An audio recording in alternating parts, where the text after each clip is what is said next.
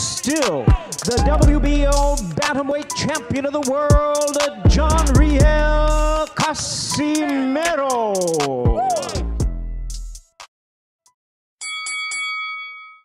Tony Bellew, James DeGale, Billy Joe Saunders, Liam Smith, Kell Brook, Ricky Burns, Anthony Crolla, Terry Flanagan, Lee Selby, Carl This is Frampton. probably why he's looking so relaxed here in the O2 because nothing like that's going to happen. So Big right hand again, he tries Casimero.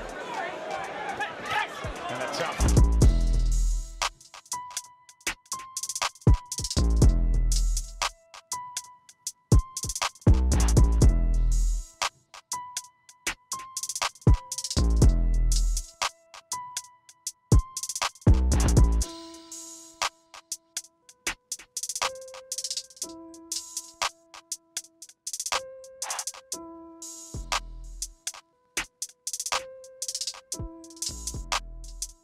Back, he was about 26 fighters in Britain.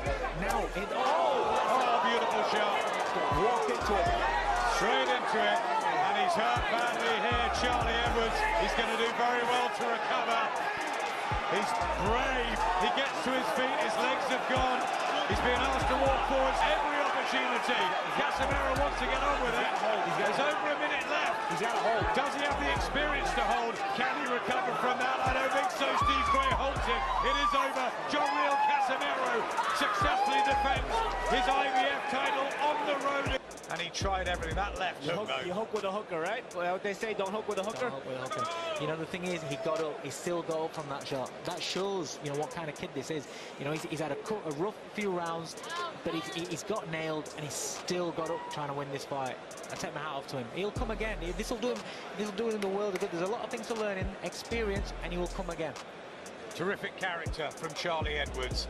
Education may be a painful one tonight, but he took that opportunity. And you've got to say that John Riel Casimero did his job as champion. He fought with his heart on his sleeve all night. Charlie did. Ch- Casimero is a tough veteran world champion. It is not always that we win our first world title shots, but it doesn't mean you're not going to come back and win a world title again. Look at these shots. All boys, you take one step back. Don't throw any punches on the back of the head. Protect yourselves at all times. Touch gloves. Edwards in September three years ago in an IBF flyweight title defence. He won this interim title in February against Ricardo Espinoza and then defended it in August against Cesar Ramirez. Both those came by way of stoppage since September 2012.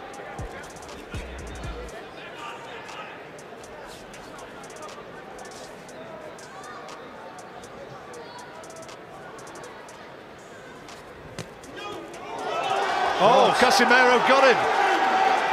He's got him with a butt now. He's given hits. He's got him with a body shot, was it? No, it was on the chin, it was. It was a short right hook to the chin. And he's in trouble. It's all over the place. He's in real trouble. Tete's in a lot of trouble. And the referee wants to look at him. He's allowing it to continue.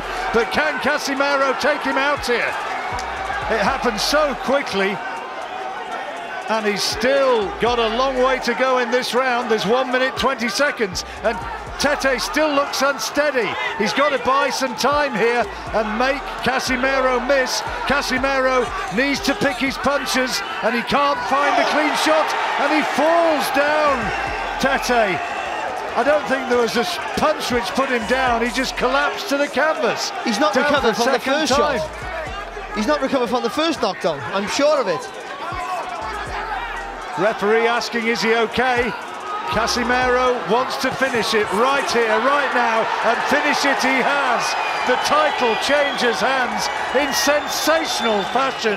Zolani Tete stopped by John Riel. Southpaw. Oh, look at that, That's right the on right the temple. hand. Right on the temple. Right, short little right hook, right on the temple.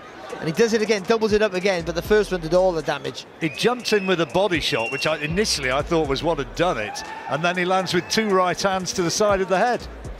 And he's done. Now look at this now. This is, there's nothing really clean conclusive. He got caught on the top of the head there, Tete, but he wasn't recovered from the first one. You know, the referee could have easily stepped in after the first knock.